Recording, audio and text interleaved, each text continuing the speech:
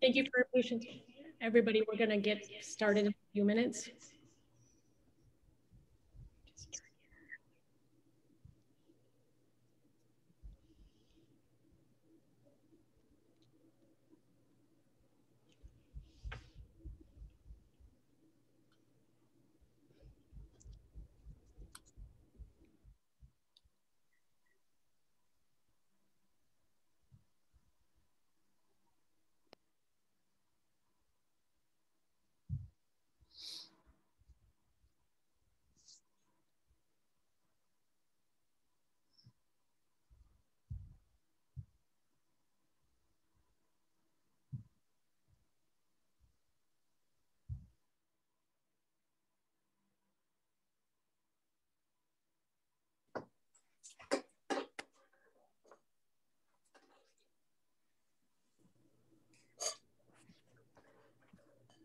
What was your favorite part of the hello, everyone. Um, I'm just going to get us started with um, just a, a, brief hello, and then uh, people will continue to come in as we get started. So uh, my name is Sherry Stella, and I'm the Director of Pastoral Ministries at St. Joan of Arc. And I want to thank you for being with us tonight on our presentation on parenting your anxious, depressed kids in a COVID world you know, as a parent of five, I know firsthand how difficult and challenging these times have been. So I'm really grateful that Michael and Callie have agreed to lead us through a four part series dedicated to helping parents navigate their way through these chaotic and unpredictable times.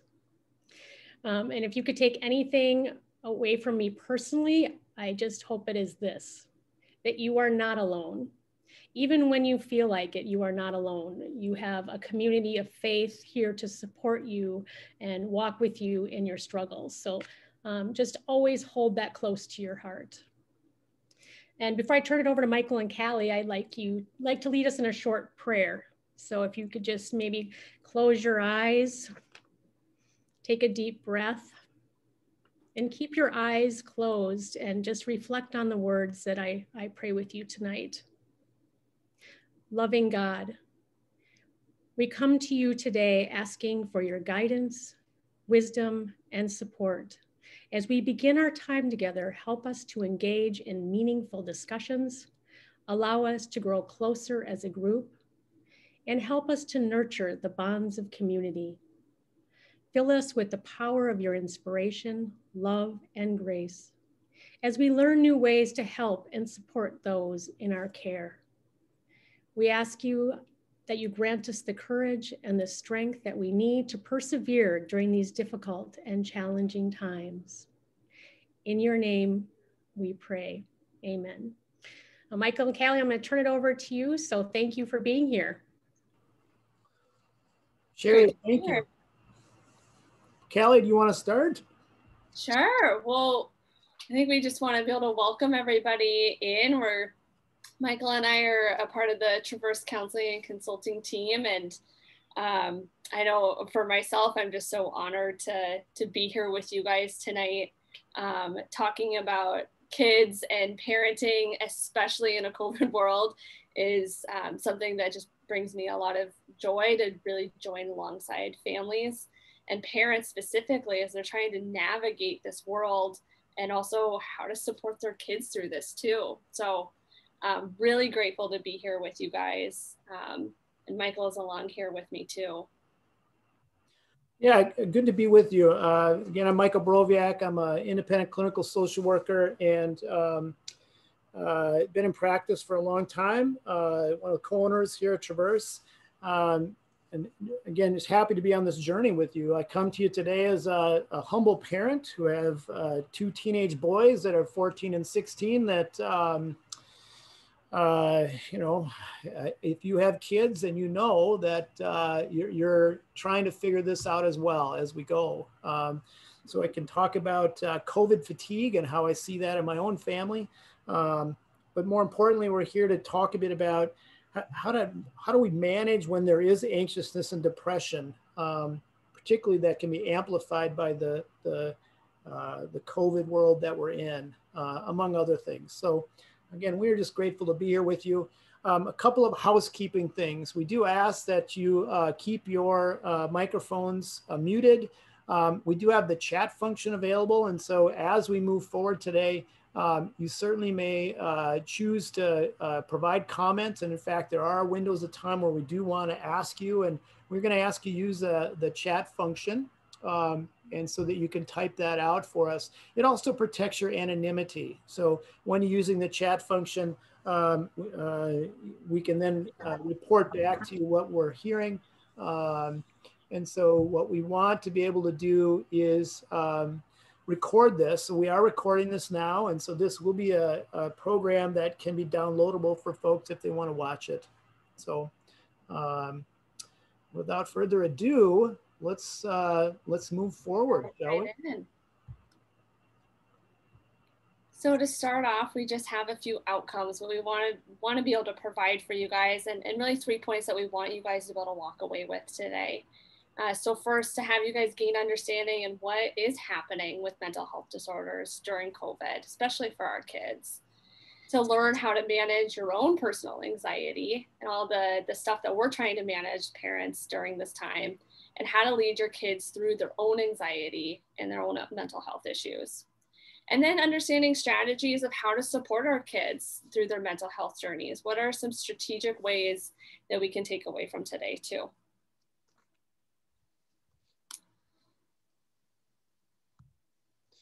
One of the, the things that uh, for Callie and I, and again, I think we're biased because we're mental health practitioners, um, uh, is that it's important that when we look at the crises that our, our community is dealing with with this virus, um, with all the other things that have happened over the last 12 months, um, it is our stance that we believe that we should be prioritizing mental health over academics. Um, we believe that, that academics are something that is recoverable over time. Um, however, mental health um, may not be. And so we really are wanting to take an emphasis that we believe that the mental health of our kids and of ourselves is really important. And so, um, again, we're just sort of tipping our hand and our value here about this and how important this is. Um, another little sidebar is uh, for Callie and I, one of the strengths that we bring to you today is that we treat people individually and uh, importantly, we work with families and whole families. We believe that families are the core of our society and that we have to do whatever we can to help families to strengthen how they work together and overcome the obstacles that they face. So um, again, we wanted to just uh, bring this bias to you, which I think is an important one. Well, to start off with, we would just want to talk about the challenges that our kids have faced this past year. Um, our kids have transitioned drastically into distance learning. They're learning how to self teach themselves. They have less or infrequent, inconsistent contact with teachers. Some kids might be doing a hybrid mode, so they might have some in person time, but then that gets chopped up with some of those online virtual days too. That inconsistency can be really tough for our kids to be able to manage. And there's a distraction and distress of being on a device all day long, looking at their screens and having those that bright light shining at them all day. Um, there's social isolation this past year. We have less interactions in the real. Our kids are distancing from others, and our kids need social, physical interaction with others. That's one of the key developmental pieces for our kids and to keep them safe in, in many families um, there's been more distancing more isolation and part of that too is the less contact with their schoolmates too in addition uh, our kids have had great impacts on their activities activities have either been canceled or shortened or it's just all around different sports seasons this year other activities whether it's you know, fully masked or not being able to have the full crowds at the events, practices look different or entirely canceled. And with that, there's a lot of, there's been a lot of grief and loss for our kids too. Their normalcy during the school year has completely changed and is completely different from what they're used to. And the structure that they've been able to really um, rely on has been really different. It's been uprooted for them this past year. And so it'd be really normal for our kids to grieve those changes and the losses of those special routines and events. My uh, my children, uh, my boys are cross country skiers. So they're on the Nordic ski team, and I have to tell you that was it was so hard for them in the winter when it came because it was delayed. Now they're out now, and so it's going well. But the biggest piece they talked about is, Dad, this sucks. I, I can't be with my friends. That was more important to them than the competition or the the activity itself but to be with their friends was absolutely critical for them. So that's been a very hard thing for them, and I suspect for many others. Yeah. I think one of the messages that I hear the most from a lot of the kids that I work with is I actually want to go back to school because I miss being with my friends. And there's like shock, like I can't imagine I'd ever actually say that I actually want to go back to school. But man, I just want to be in person with my friends, with my classmates, and my teacher. So um, so question for you all, we wanna encourage you guys to use that chat feature to, to Michael or myself. Um, how have you seen COVID, COVID impact your own kids? What have you seen there be struggles? Maybe there's been some positives that you've seen for your kids, but where, where has that impact been for your family? So I want to give you guys a second or two here to, to respond if you wish while people are thinking, um, I, I, can share with you that um, I have experienced more irritability with mm. kids, mm-hmm. um, agitated, frustrated, um, impatient at times. Mm-hmm. Um, and so that's certainly been one thing that I've seen in my household. Um, and it's interesting when they've been able to be out social with the social distancing, I see it reduced. So yeah, it's been really hard in the winter having that those opportunities for social distancing outside. I, I see a lot of COVID fatigue, especially with the winter. Um, here's a message. My teen is falling behind in school because she is lonely. I mm. started a new job and she is home all the time. Yeah. Mm-hmm. So, so, this is this is uh, a struggle. You bet um, adjusted well to distance learning, but increased irritability and anxiety has definitely increased. You bet. Mm-hmm. Children stay up all night and sleep all day. Mm-hmm. It's been really hard to regulate scheduling and how to structure routines for the day. Children's sleep patterns are way off. Yeah. Yeah um, for, for my kids, it's been um, painful because they, they have very close friends, but they live out past Hutchinson. And uh, I've had to stop them from being able to go spend time with them and to go to that house and be with them. Um, so it's been really hard for them. Um, it, that's a grieving that I think that they've had with this. Mm-hmm. Can't be with these close friends that they just so enjoy being with. Mm-hmm. So I can imagine that grieving is really unfamiliar for your kids too. It's a different way to feel that kind of loss. Yeah, I, I think that's a fair point, Callie, that they, um, they're, they're, needing help to know how to put language to it. Um, mm-hmm. um, and sometimes they don't know how to put language to it. That's the point. So we have to help them. Yeah. yeah.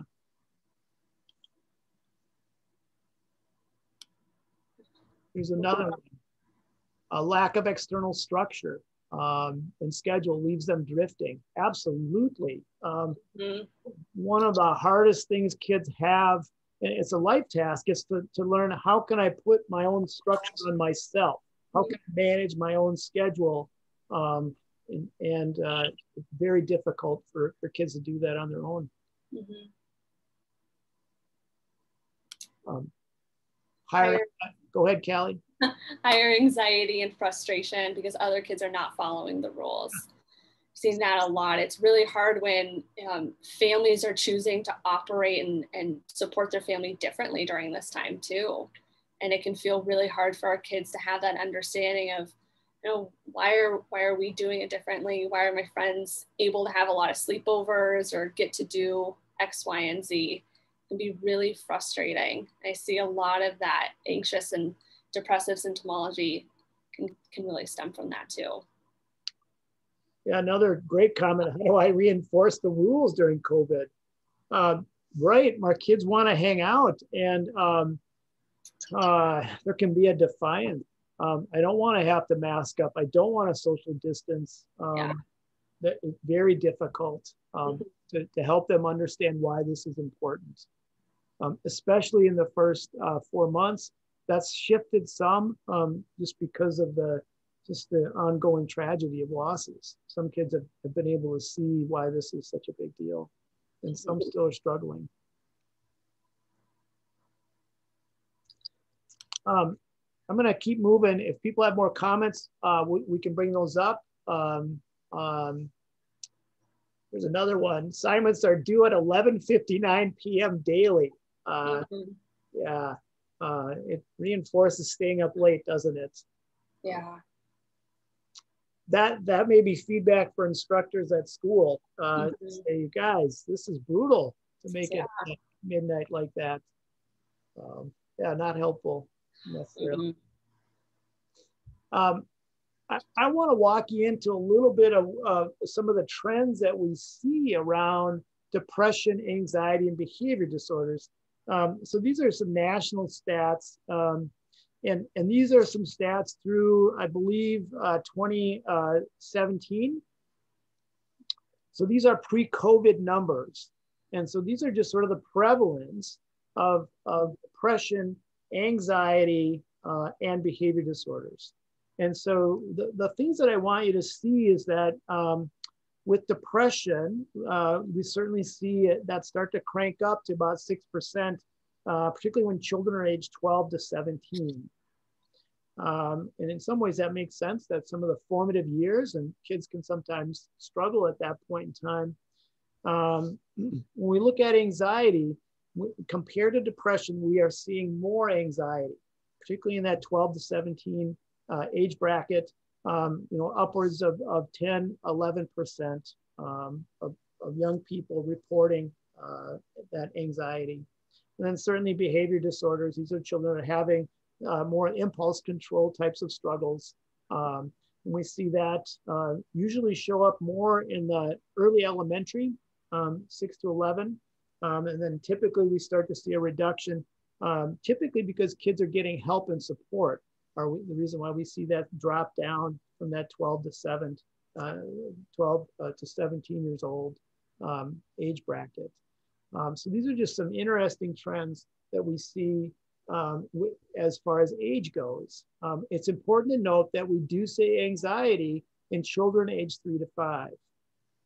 Um, uh, so just take note of that. So we wanted to provide you guys with a little bit of stats of just what we do know so far of how the COVID-19 lockdown has impacted our kids' mental health. Now, we're only you know barely a month into 2021, so some of these stats are pretty fresh and that might change over time too. But some of these I found uh, pretty important to take a look at. So 85.7% of parents are reporting noticeable changes in their kids' emotions and behaviors. And it kind of reduces into that too difficulty concentrating, boredom, irritability, restlessness, nervousness, loneliness, uneasiness, and worries. Very significant numbers of percentages there for kids that are experiencing these changes in their emotions and behaviors. Um, wanted to throw in college kids too in here. 71% have an increase in stress and anxiety, 89% reporting a difficulty in concentrating, disruption in sleep patterns, report concerns in academic performance. I think a lot of those numbers might be pretty similar with our school aged kids too. Um, and parents, 75% are reporting feeling stressed given the quarantine situation. And that's additionally associated directly with their kids' emotional and behavioral changes. Um, I wanted to put in a piece about suicidality. Now, some of these stats are from 2019. We don't have uh, fully formed stats yet for 2020, but in 2019, suicide was the leading cause of death for people aged 15 to 24. And in that year, we had 47,500 deaths by suicide. And nearly 6,000 of those were for, from kids ages 15 to 24. Um, and as far as suicide attempts, we had almost 1.2 million suicide attempts, which translates to one attempt every 26.6 seconds. although we don't have specific statistics quite yet of what suicidality and ideation has looked like for 2020, I think what we're understanding and what we're hearing right now is that some of that has been increased for our kids in this last year too. Would add that we're seeing that on an international level as well. Mm-hmm. Watching the news media, um, it, it's happening across the globe. Mm-hmm. Which is why it's important that we're all here to, to be able to talk about mental health for our kids. Um, th this is an interesting graph um, what this is is is really looking at um, the, per, uh, percent of 9th through 12th graders who have at least one indicator of suicidality. It could be ideation or thoughts about it. I want to be careful here. This doesn't correlate directly with suicide attempts, but these are risk factors for suicide as we see an increase in the number of hours on electronic devices, we see the increase of percent of students having at least one suicide risk factor. So um, what does this mean? Well, we put this in here because the, the rules of engagement with electronic devices has completely been thrown out the window with COVID. And so this requires, I think, for us as families to have a greater awareness of how our kids are engaging with electronic devices.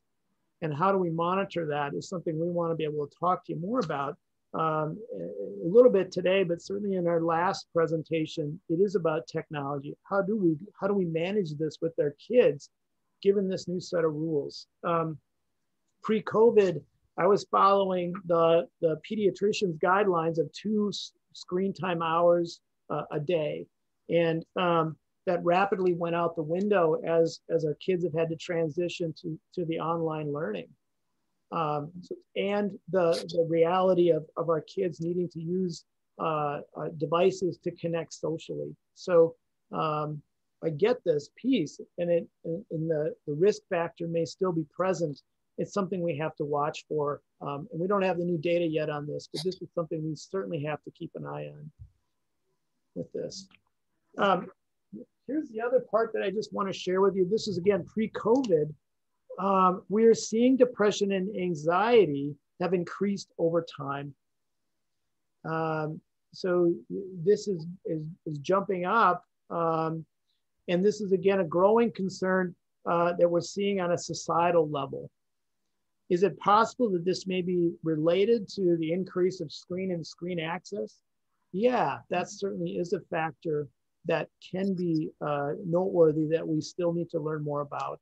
Um, so uh, again, it's as this growing concern happens, we have to be more vigilant with our children um, to make sure we're aware how they're doing. Um, uh, increased uh, depression and anxiety um, would argue is also happening on a societal level with adults. So it's mm -hmm. not just children. We're seeing anxiety increase um, with, with the adult population as well. The other thing is that we have to keep in mind that if you have one struggle, you may have two.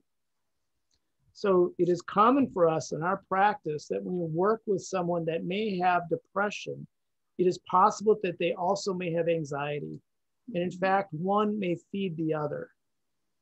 Uh, so we are seeing the possibility um, upwards of 30 to 50% um, uh, may have an additional struggle that they're having beyond just the anxiety or depression they're having or, or having a behavior struggle. So again, these are something to be aware of that when we're treating individuals that may be struggling, it's important that we, we identify how they may be struggling together uh, with more than one, one uh, mental health uh, challenge. Um, so when you, you guys look at this stuff, I, I want to be careful here. We're just trying to be honest with you about this. What I also want to have you be aware of is that that there these things are readily treatable. Mm-hmm. There are ways to help children who are struggling with anxiety or depression or behavior challenges. So that's the good news, and that's where the hope is. Mm-hmm. Um, uh, there's still many children who are not getting help. Um, but if you look at the numbers, uh, you know, 78% of children uh, uh, with depression receive treatment. Uh, 60% of children with anxiety receive treatment. It's not enough, right? We still have more work to do to make sure people are accessing help for our kids. This is where the sort of silent suffering can happen with our kids. And, and this is where um, we're just grateful you're all on this training because if we can help you detect something where your ch- child may be struggling and we can help you figure out what to do, um, that's a good thing. So certainly something we're really committed to. Um, again, there, there um, is a way out of this. The treatment modality has had to change because of COVID. So typically uh, we're seeing providers move to a teletherapy format. Interestingly, many children are responding very positively to this. Mm-hmm. Um, and I know, Cal, if you want to comment about that, what, what you've seen with some of the children you've um, so I, I end up seeing, I have a lot of kids on my caseload and, and adolescents. There's, um, you know, in some way there's a familiarity with technology use for our kids. They're much more accustomed to FaceTiming and Snapchatting their friends that having a, a telehealth call with their therapist too, there can be some familiarity as well. Um, you know, for kids when they're, you know, logging into a telehealth session with me at home, it also invites me a little bit more into their their safe space at home too and can actually kind of provide kind of a different level of that therapeutic intimacy and that relationship building too. Um, so in some ways the, the telehealth model can actually be has been fairly helpful for some of these kids too where it gets a little trickier is if we have families that are needing uh, help beyond an individual or they need some more family support uh, mm-hmm. Zoom structure meetings can work. They require a different kind of structure, a way to manage it, um, but it can be done. So uh, certainly hope and good news for families needing help. So let's talk a little bit about the anxious brain. Um, anxiety actually de- is developed out of a normal brain response to fear. So in some ways, anxiety can be helpful picture a, semi moves into your lane. There's that jolt of fear that tells you to get your car out of the way. Anxiety can be learned. I grew up in a family of origin that um, my dad was really angry and abusive in ways that my brain learned to avoid dad as a protective mechanism. Um, anxiety can also be systems based. You know, we've seen over the last decade an increase of uh, school shootings, so systemically, we've also learned of how to respond to that fear. So in a way, its baseline anxiety can fairly be a normal response. And a lot of times for our kids and, and for us as adults too, who experience anxiety, it, it becomes really overwhelming and starts to respond to things that might not be a typical normal brain response.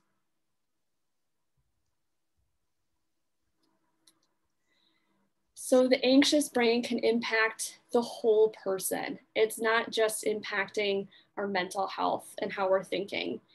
Um, you can see it in your whole body.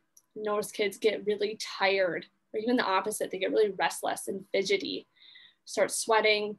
Kids might have uh, racing heart rates. You might see them kind of fidgeting with their fingers a lot, tapping on everything.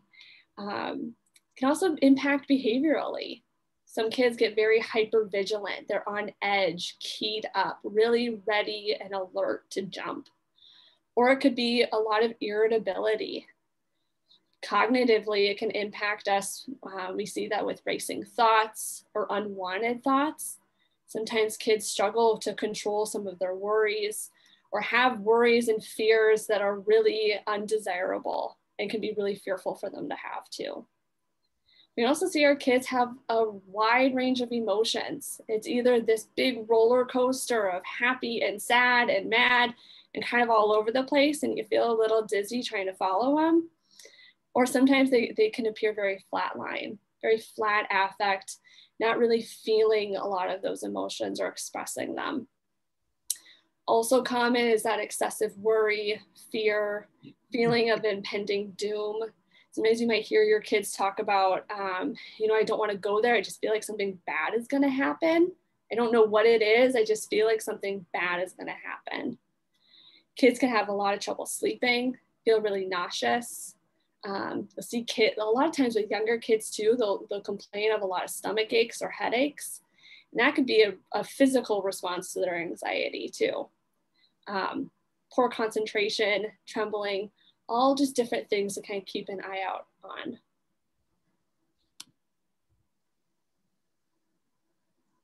So what can anxiety look like? It can look like a lot of things. Um, look like refusal, that oppositional behavior. I won't do that. I'm not gonna log on to school today. Um, I won't do this. It's a fight response. You feel like you're fighting with your kid here when you feel this way. It's inability, I can't do it. Can see this kind of freeze response that almost like kind of a fear in their eye too. Like, mom, I, I just really can't do it. They might create problems or acting out, might use humor, kind of this flee flight, flee and fight uh, mode here. There might be some nonverbal signs of anxiousness too, really clenching their jaws, furrowing their brows, tight hands. Notice their breathing becomes really shallow or rapid. We can also see it in relational struggles too. They're struggling to make contact with their friends or peers. You're noticing that they're getting into a lot of fights with their friends. They're isolating or withdrawing from their friends. Comes out in the sibling relationships, parent-child conflict too, even some parent-to-parent conflict when you know you and your co-parent aren't aligning on, on how to help support your kiddo, there might be some other kind of anxiety happening in the house too. I think it's important for parents to be able to see these behaviors and understand how it functions out of the anxiety. A lot of times we see these behaviors and there's a purpose mm-hmm. behind it too. Um, generally speaking, I don't think many kids are just refusing to do things just for the heck of it. There's generally something happening for them underneath it. And it's so important for parents to be able to see that and really understand what's underneath it and really attune into their kids' needs in that as well. We'll talk about attunement a little bit later in the presentation, um, but I think this is such an essential piece for that parent-child relationship. You know, if, we look at it at a grander scale, if you look at our whole country um, this last 12 months, um, mm -hmm. we looked at these things, you probably could say a lot of the adults have had this too. Mm -hmm. That's a great point you know, I don't know about you guys, but uh, I, after the inauguration, I, I stopped watching the media so much. Every morning I'd be on trying to figure out, right, what's going on, what's next. And I, for me, just the big, you know, some settling here, I found that I eased up. It was a reflective moment for me to realize that there was a collective anxiousness I was having, just trying to figure out, are we going to be okay, given mm-hmm. what's going on in our country and our world? So um, it's interesting how powerful uh, this is and how it can be affected um, by what's going on around us.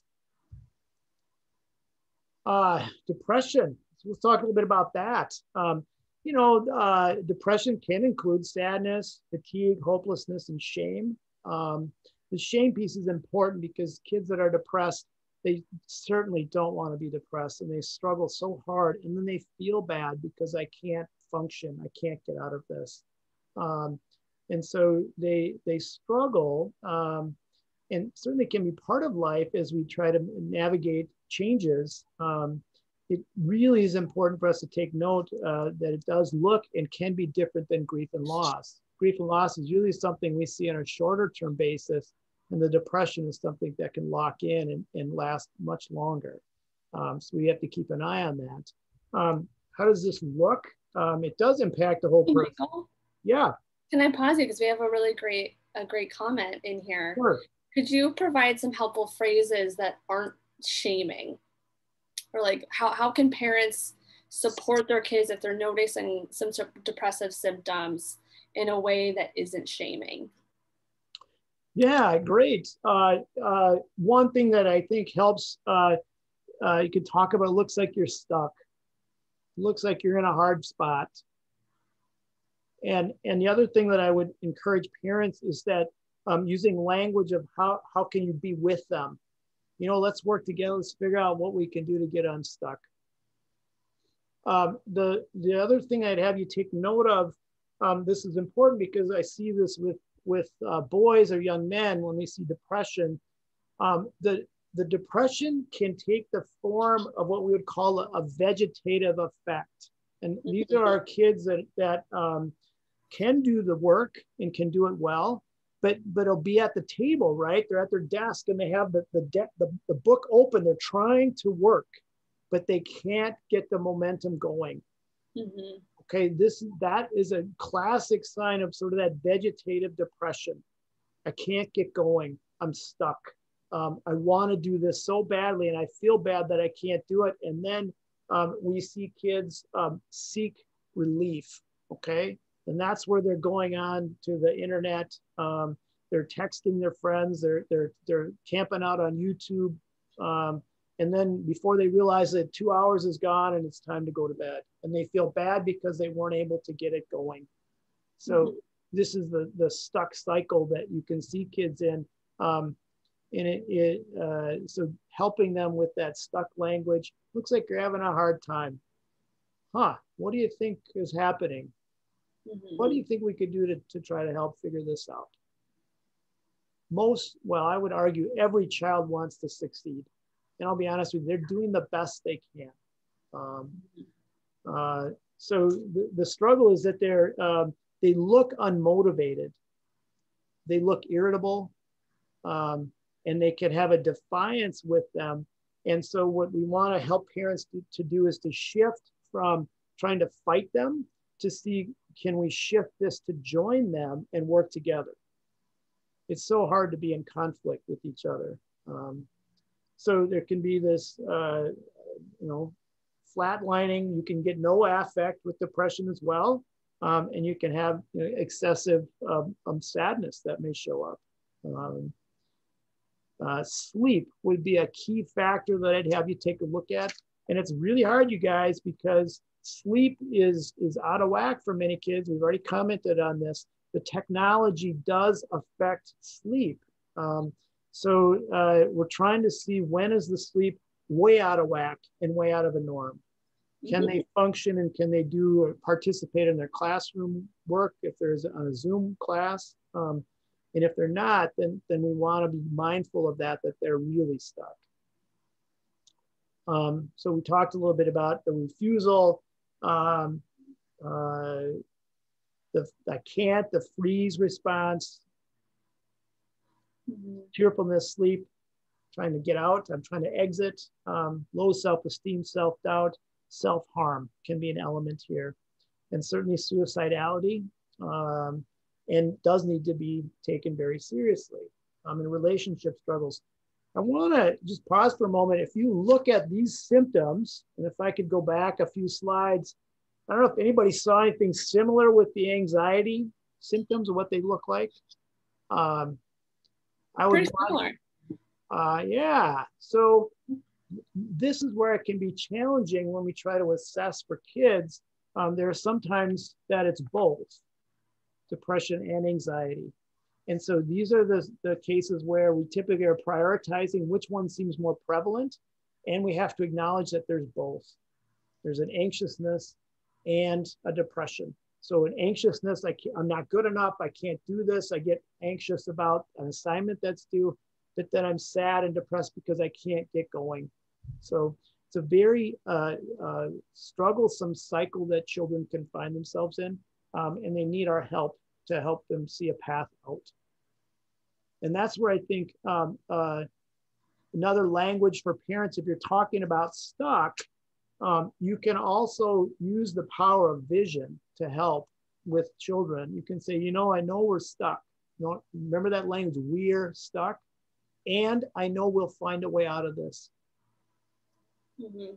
So there's a hopefulness, right? That's an important piece. I, I appreciate the language about the we for kids to hear that their parents are in it with them mm-hmm. is is really life changing for a lot of kids. There can be um, the sense of shame or feeling like they're the problem in the family. And I a lot of times I have kids coming into my office feeling like they're a burden to their family. And when kids are able to see that their parents are in it with them and they're going to be that support system alongside them to figure out how to do this differently and how to feel differently, it makes just such a world of a difference for kids to, to have some progress too. Um, so we're gonna ask for some comments again from you guys in a different sense. How are you guys as parents managing COVID? Individually as your own self, as a parent, how are you guys doing this past year? We'll take a couple minutes for you guys. I think I already shared a little bit. Definitely uh, am aware of the anxiety that showed up this last year. Um, that that was affecting me. More vigilant. Um, um, kind of was on my kids about masking. Um, uh, it'd give me a hard time, you know, but I would emphasize how important that is. I, I had to repeat that over and over again. Um, mm-hmm. it's hard, I think, especially at the beginning of the pandemic, to figure out where where is the structure for safety for my kids? How do we want to root as a family into how we're going to navigate this? And I know at the beginning, I heard a lot from parents of just this uncertainty of what do I do? How do I do this?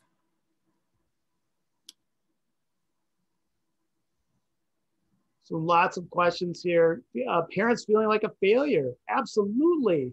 I, I can't, I'm struggling just to get through this myself. And, and how do I do that with my kids and help them through?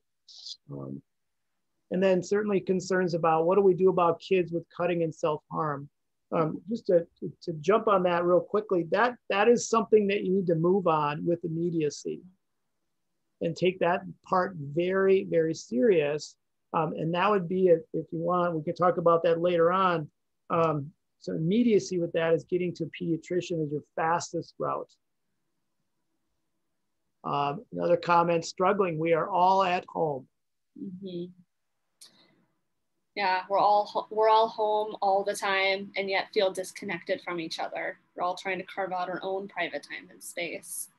Yeah, it's hard to be able to have some of that alone time for yourself and take care of your individual needs while also fostering your relationships when you're kind of physically on top of each other all the time in the house too the, the disconnected is an important piece. That that's a common thing that i am seeing when i've done you know family therapy meetings.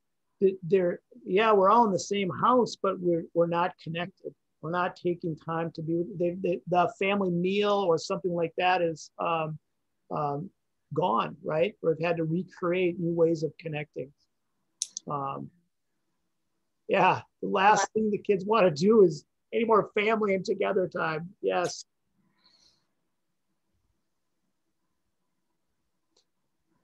Then difficulty balancing, uh, supporting all the needs of my kids and my own and my work. Um, yeah, I feel like I'm not doing anything well. Well, I, I think for us, we'd say uh, if we go back to mental health, if we can stay state that with a priority.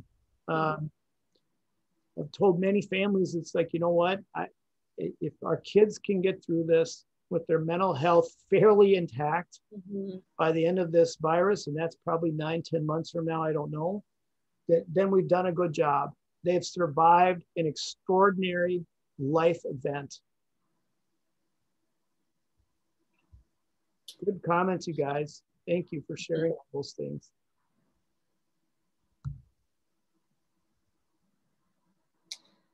So we want to take a little bit of time about talking about parents caring for themselves. So two reasons to relax. You can't help others if you're incapacitated. Excuse me for a second. Um, so I'm sure most of you probably been on an airplane, had the oxygen mask rule to put the mask on yourself before putting it on somebody else. Um, it's important that we're taking care of ourselves and making sure that our mental health needs are cared for and intact. Because when we're when we're cared for, we show up as better humans, as better parents for our kids too. And our kids mirror us. Um, I really, I really like this picture here. This baby is newborn, is mimicking father's facial expression. So even at a young age, it's innate for our kids to mirror what we're doing. Um, I'm sure we've heard our kids like repeat sentences that we've said for better or worse. We see little quirks of our kids that, you know, look and sound like us too. Um, so it's important to also be able to show that for our kids of how to take care of ourselves, how to prioritize our mental health needs, primarily so that they learn how to do it for themselves, um, but then also that we're, we're in a better place to be able to care for them too. I went in, I went a little, little heavy with the airplane and oxygen roll the other slide, but um, kids impacted by mental health can be challenging for parents. It is really hard to parent your kids in general, and then to have these mental health concerns on top of it, it is really, really challenging. And I, I just really want to normalize that. It is really, really hard. And our kids in these times of distress can trigger our own stuff. And it requires us to have more strength and resources to care for them in those moments. And so it's important that we have our full capacity and our needs taken care of first so that we can fully care for their needs. So when we're finding ourselves triggered by our kids' behavior, that's an invitation to reflect on some things. So I like that change of, of kind of word right there. It's an invitation for us to have some internal reflection. Mm. Am I taking good care of myself, my home life, my partnership, how's my sleep? What does my diet and exercise look like? Is my time expended matching my values, what I really care about in my life? Am I am I living through that too? Do I need to do some deeper work around why this specific behavior is really triggering for me? And do I need additional help? Do I need to seek counsel at my church or, or through a mental health counselor to make sure that I'm really taking care of all of these buttons so that I can really care for my kid too. Um, you know, one thing that we like to talk about at Traverse is proactive versus reactive parenting. To be parental leaders, we need to be one step ahead of the game. Uh, when we react to our kids' behaviors, a lot of times um, there it might not be the most helpful response. If we can stay one step ahead and know how to care and how to respond for those those distressing needs, we can really help our kids learn how to do it for themselves too. Um, I would just want to jump on this. This is this is one of the hardest things in the world. If you look at mm-hmm. uh, the volatility, the unpredictable things that have happened in our world in the last 12 months, uh, to, to, for me, proactive is is that's if that's the goal i got to tell you there i'll just be humble. There are days that i feel like i'm barely one step ahead of how to manage what's going on. Mm-hmm. so so this is our work right? We're trying to figure out okay what do i do? What's shifted? What's changed? How do i need to respond? And then how do i deploy it? And it's it's it's exhausting work folks. This is uh, um, some of the hardest parenting that's been induced by by a worldwide events. Um, mm-hmm it's extraordinary. Um, yeah, I think I think this past year and everything that we've experienced, it's it's difficult to be kind of in step with your kids, let alone mm-hmm. one step ahead too. So we know anxiety fuels conflict in relationships. Okay. And, and we're, again, if you think about anxiety, I'm in a fight or flight mode. I can easily get into an agitation or conflict. What I want you to know is one of the quickest interventions that you can use as a family to try to gain that leadership piece is consider how you want to implement structure. Now, structure can mean lots of different things. It can be a routine that we're going to set as a family. Um, this is hard because I don't know how many of you have tried to do the regular family walks. Um, I did. I was able to do it for a block of time. And I got to tell you, my kids fought me at the end there. I don't want to do that. It's boring. Um, so changing the structure may be something you have to think about doing. And I think also letting the kids know that, hey, this is something we have to do together here. We got to figure out how to navigate through this COVID era together and we all have to contribute in some ways. Um, when we look at parent leadership, from our point of view, and I don't know if you guys can see all the three points of the triangle here, it's, it's for us, we try to keep it simple. It's safety, nurture, and challenge. These are the three key functions we believe all parents have with our kids. Um, it's easy when they're little, when they're two, we can keep them safe by putting the guardrails up. But man, when they're 16 and want to take the car out, um, keeping them safe gets to be a little more challenging. Um, we can talk a little more about that. Nurture. Nurture is our ability to attune and understand them so that they feel like we get them. Um, it's easy to nurture our kids when they fall down and scrape their knee and give them a kiss and give them a hug and they can put a band-aid on and then they're off and running. One of the more uh, difficult parts of parenting is challenge. If we don't challenge our kids, it's likely that they will stay stuck. So one of the greatest uh, pre-COVID is the nurture challenge balance for parents. COVID has certainly added a whole nother layer of safety because we have to look out for others. So safety, what does that look like? Um, I would argue that parent involvement is not a punishment. It's our job to help them um, and lead them um, by keeping the guardrails up that are appropriate for them. Um, it's important that as adults or parents are aligned, uh, uh, together family or divorce or separated family, their alignment between leadership is key so that you're able to implement interventions along those lines. It's always a challenge. When do we step in? You know, um, uh, my kids uh, uh, wanted to do a sleepover, right? And hey, it's okay. It's just two families. They're savvy, right? They understand some of the parameters. And this is where we stepped in and said, no, that's not okay for us right now. And we had to talk about that we have some, uh, my in laws are older and have vulnerabilities, and we want to be able to find ways to have social distance with them. And doing a sleepover, we felt put at greater risk. That was a time when we stepped in. Mm-hmm. I talked about earlier, they wanted to go see friends west of Hutchinson. It's not safe. Um, so COVID has required a whole nother layer of safety. Um, a number of families have come in trying to struggle. What are the lines here? What's okay and what's not um, around safety? So this is a key one um, that's created a greater emphasis because of, of COVID. This other piece of the triangle is about nurture. And really we talk about that parental attunement I brought that up a little earlier in the presentation too. So how, what do we do to attune? It's really about active listening, being able to empathize, limiting the advice giving.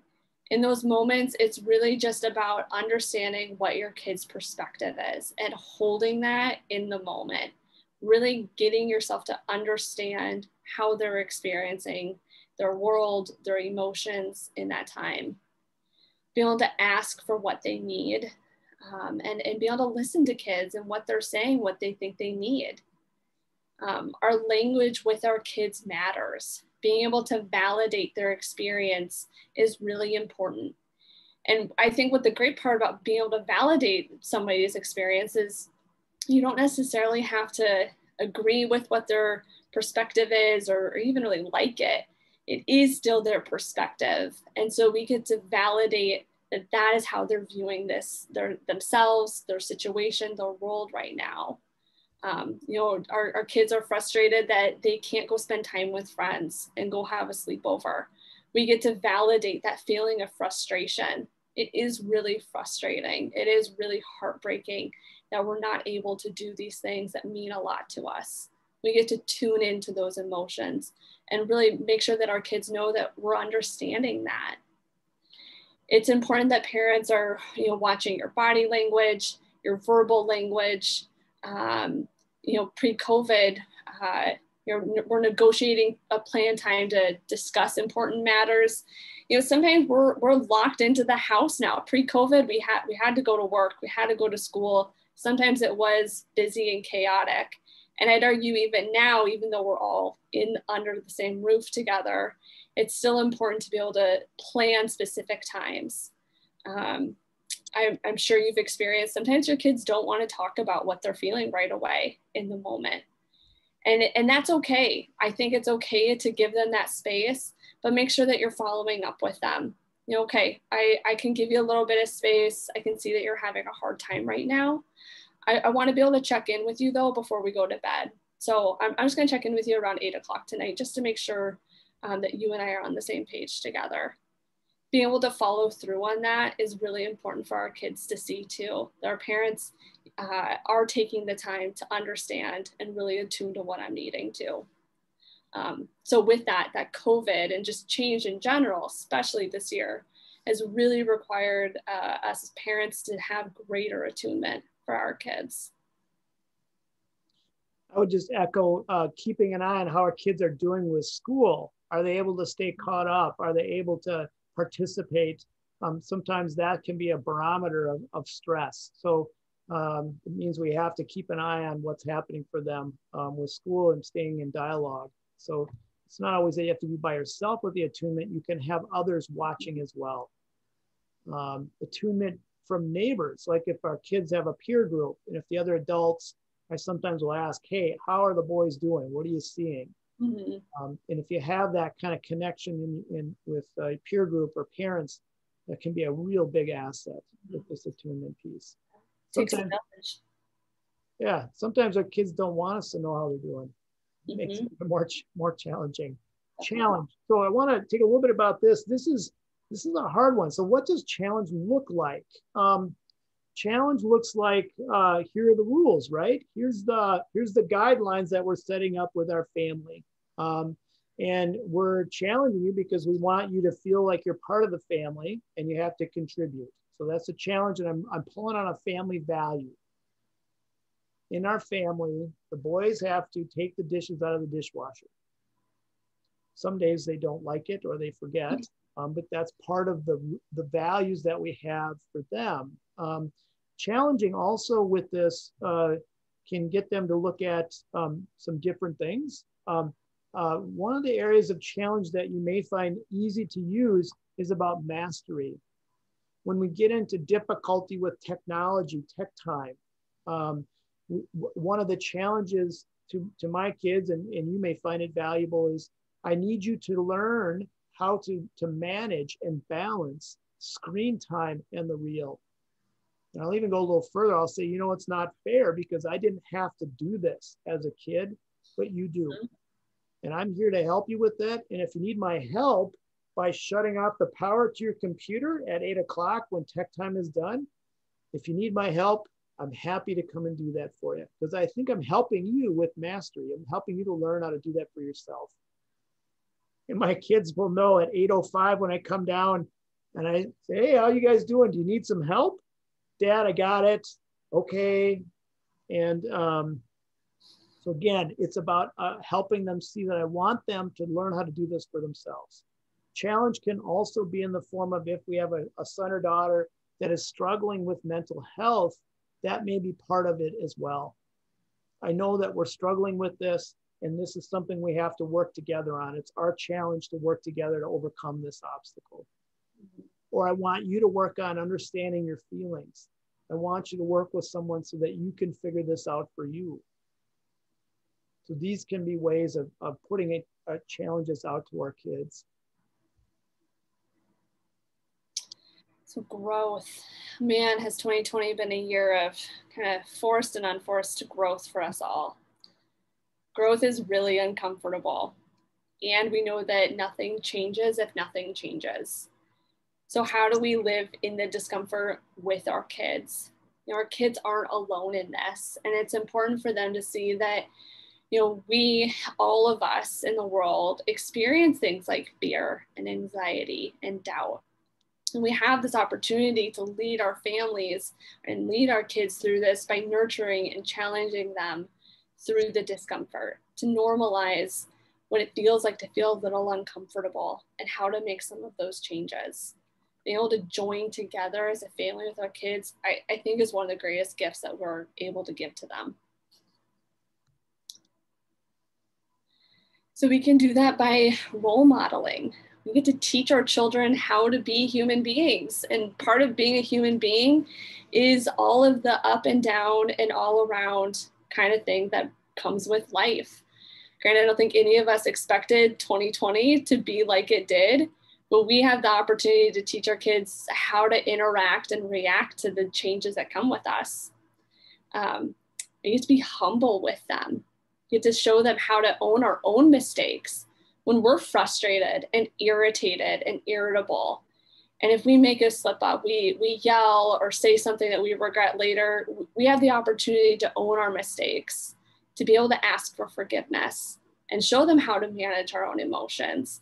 We have this opportunity to role model how to really do that for them and with them. We also get a role model how to activate our faith. When we're challenged in our faith and our beliefs, especially after this year that's been so trying, we get to show our kids how we're going to lean into that, to show them how we're using prayer, how we're leaning on our faith to give us that guidance and that comfort. Um, I think it's it's another piece to to really bring up is that it's important for you guys to access your faith communities you have a, a fantastic community who's supportive and willing to really be in it with you guys too. That you guys are not alone in this at all. Um, so it's it's an awesome invitation and opportunity for you guys to lean into that access as well. Um, I was thinking about this, Callie, and it made me smile um, in a humble way because um, there are times that uh, I've had a bad day and uh, there have been times that I have sworn in my house, mm-hmm. and um, my kids would tell their mom, "Man, oh. Um, but the the part for me is that coming back around and say to them, "You guys, I, I need to apologize to you. I wasn't my best self. Mm-hmm. I, I swore, and that's not how I want to be. So I need to tell you guys, I apologize. I, I will do better, right? And, and I think that's the kind of stuff that's helpful um, for our mm-hmm. kids to hear. And there are times where it's like, I, I don't have an answer. I don't know the answer to this. Or um, I know what, what we're going to do today. Mm-hmm. I can't tell you what tomorrow's going to bring, but here's how we're going to do this today. Mm-hmm. Yeah, what a statement to have to make in in the past year that we've had with all of the unknowns of the pandemic and you know political chaos that we've all experienced. That you know, a lot of times I, I can tell you today and and we'll be in it together for tomorrow too. Um, it's important that you have parental alignment. You're the hub of your family system. You're the leaders, and there's going to be differences of parenting style, personality, values. Um, I can't tell you the number of families that I've had where spouses or partners had different political views, and the mm-hmm. tension or struggle that they had was was uh, difficult for many of them this year. Um, many of them, most of them, were able to work their way through it um, because they were able to take time to align and make sure that they are clear how they're going to have a, kind of a kindness and nurturing with each other. Um, it's important to know that there can be pitfalls and, and take time to monitor and maintenance this. Um, and clarify how you're going to safety use safety and nurture and challenge um, with with each other. Um, we all have bad days. So uh, it's important that, that we have that humility as we go. Mm-hmm. Uh, life life happens. Sometimes parents aren't aligned in decisions, and, and that's okay. Um, it's really critical to be able to take that reset, to pause, and and to be able to verbalize it with your kids too hey mom and dad have to have some things that we need to work out together first and we'll let you know we're not really sure how we're going to handle this situation right now mom and dad are going to work together and we're going to figure out a good solution that's really fitting for our family i think that's one more example of being able to role model how to make those decisions together and and creates a sense of safety for our kids too that they know their parents are working together and are going to lead them through some of these difficult times together too I think Michael and I would just encourage to get help if you need it. If you and your co-parent are really struggling with how to find that alignment, to to reach out for, for resources from your faith community, from a mental health community, to not stay stuck for very long in that. So we need to help our kids manage relationships. COVID has amplified the life task of balancing the real and the virtual. I think Michael and I really saw this already being a challenging new life task for kids pre COVID. It's really hard for kids to balance how much time I'm using on my technology, my video games, social media, and being in in the real in my real relationships. And with covid i mean most of us are working electronically our kids are logging into school. It's really hard to have that on and off switch in that balancing of the real and the virtual um, so they, they look to parents or looking for you guys to be able to help them set that structure and that leadership what is that healthy technology use with school and social contact some ways it might look, it probably has looked very different than it has pre COVID. Our kids really thrive and need social contact. They also need to be logging into school and being able to have some kind of social communication with their friends is really important.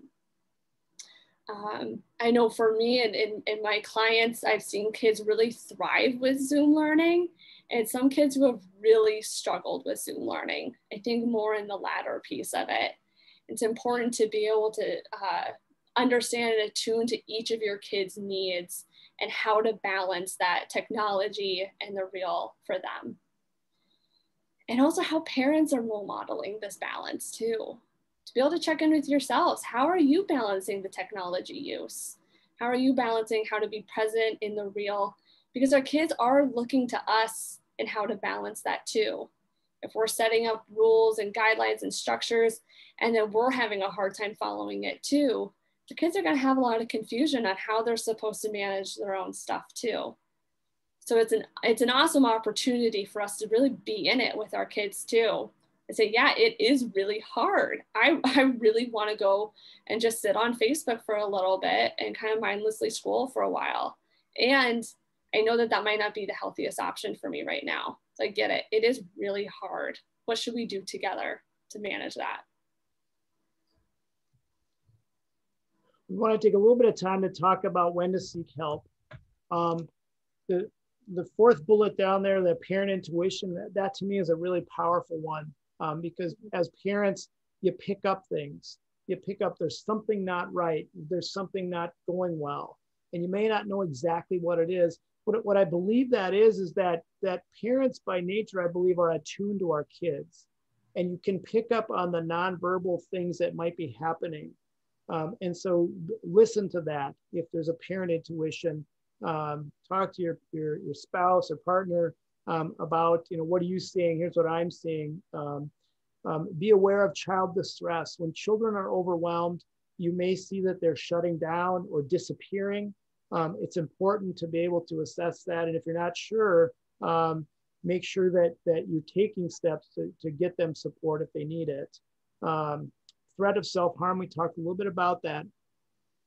Really want to emphasize this. This is, um, you, you can see this with kids directly stating it. Sometimes you may find that a child will share something with a friend who tells their parent who then tells you, okay? So that can happen um, take it very seriously. Um, if you want to uh, easily take steps, um, I'll move to our next slide. But it, it's it's about seeking medical help with immediacy. Our pediatricians are great here in Minnesota. They're very good at helping. Um, to take a look at that. Be aware of relational conflict. That relational conflict, when we're seeing that happen, may be an indicator of somebody struggling with mental health um, and, and, they're staying in the conflict and, and are agitated. So that's typically, to me, a sign of depression or anxiety. Um, where to seek help? Um, pediatricians are a great one. If you need help fast, you call your pediatrician. I think I have a medical, a mental health crisis. They they have to respond, and will either have you come in immediately or refer you to the ER. Um, we have wonderful staff uh, at schools. School counselors are available for, for getting some help. Um, so you can reach out to them. Religious counsel. My goodness, a faith community is a blessing because you can call and say, hey, I, I think I got this. What do you, who do you know or what do you think would be the best step? Um, a trusted confidant um, to, to help steer you in the right direction. Um, certainly a therapist um, can be a great asset. Um, first off, just to be able to assess what's going on and uh, uh, and then give you some ideas how to help.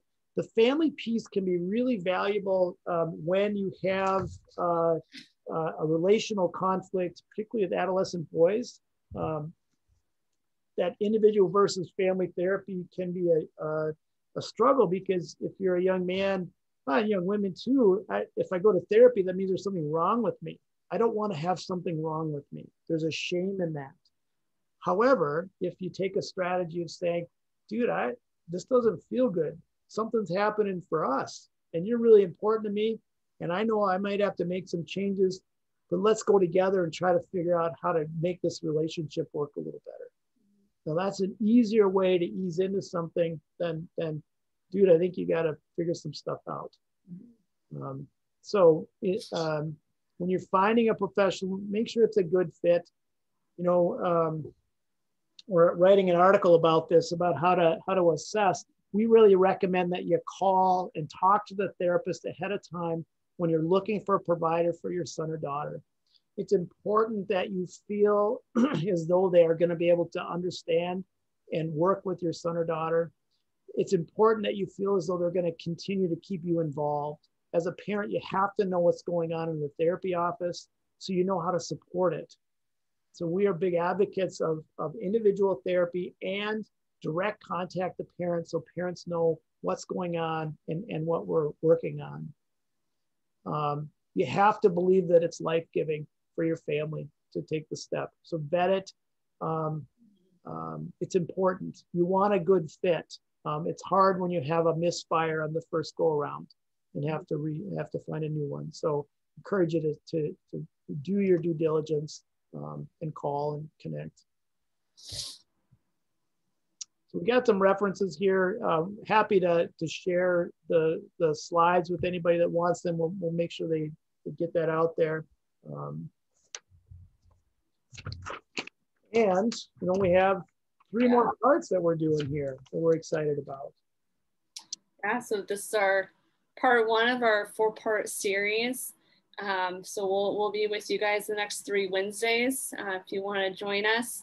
Next week, we'll be talking about grief, loss, and family resilience during COVID. Following the week, what if your kid says no? provide you guys with practical tips of managing that resistance and defiance, especially during COVID times. And then wrapping it up, um, help our technology is taking control. Um, and that will be that final week. I think Michael is adding that last little piece as we got got started here. Sorry that was cut off, you guys. That final one will be February 17th. Um, so the the what we're thinking and what we're worried about is that when our kids um, enter back into the real more with the school, there's going to be this massive withdrawal from from technology that may be very difficult for our kids. And so part of that fourth one is really trying to help parents be prepared to know how to lead our kids through that transition that that likely will be happening, um, hopefully by next fall. But if you know more uh, ahead of time, it can help you be prepared. So um, this is who we are. We're over in, uh, technically it's Plymouth, but it's uh, off of 369 and uh, 390, or 169 and 394. Yeah. Right off Shelard Parkway is where we're located. Um, mm-hmm. Just have a deep commitment to working with families. Um, so um, we have, uh, we've kind of hit the, the limit of time, but we do have a few extra moments. If there's any questions, if anybody would care to put in the chat. We can take a few minutes here to answer if anybody has any. Um, otherwise, we're just grateful to be with you and, and uh, um, happy to, to see you all next time when you come in uh, and invite your friends or family if you think it'd be valuable for them. Mm -hmm.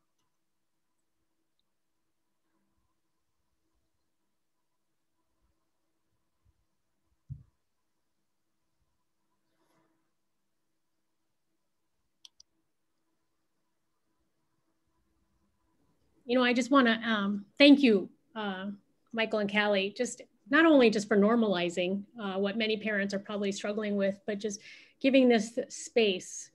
And even if you don't have questions now, you may just go, you know, go throughout your night and say, you know what, I really wish I would have um, uh, asked this or, or heard about this. And I, uh, please reach out to me, um, Sherry, and I will get your questions and I will ask Callie and Michael and maybe what we can do is either I can follow up with you or they can follow up with you if that's okay. Or we can just kind of touch on them next week. Just, I, it's really important that you have the opportunity to get out of this program what you need or questions because we are here to really just walk this journey and it, it is a very hard time and um, you are just again ones i want to say is you are not alone so please just know that really appreciate that um, the, the invitation absolutely is out there of um, be able to ask questions um, if if you guys are interested in having um, kind of a, a, complimentary 15 minute conversation of inquiring about therapy services too. Um, Michael and I and, and, our other provider, Matt, can be available to, to really talk about and, and really hear and understand what you guys are, are experiencing as a family too. I want to just do a quick response. There's some questions about tech time or how to manage that. Certainly, that fourth uh, uh, workshop will go more depth on that. I, I, would encourage you to think about challenging our kids on, on reducing tech time or screen time. So the first part is the challenge. Why do you want them to reduce the technology time? And, and so you have to help them understand with a compelling reason. Now, they may not like it or agree with it, but you have to start with a rationale. Mm-hmm. Gonna, I did not like it when my dad would say, Why do I have to do this? Because I said so. Mm-hmm. Like, ah, oh. Yeah yeah, uh, but if I had a compelling reason, I uh-huh. want you to have a healthy balance of time on screen and being in the real. Mm-hmm. And I want you to practice not being on the computer. I want you to find a book to read or to do something different. So, so that's the, the, the, the challenge. Most kids will respond to that, but we have to help them um, understand why it's important and then if they can't do it, that's where you get to st- decide what's the new structure I need to put in. So I need to find a tool or an app that I can limit screen access. You can, again, uh, sometimes we have to do that with the kids. So good questions. Uh, that fourth one will be an important one if folks want to dig a little deeper on more specific strategies around that. All right, you guys. A pleasure to be with everybody. Thank you. Uh, really an honor to be with you guys tonight. Be well. Have uh, um, have a good and, and safe uh, week until hopefully see many of you next week.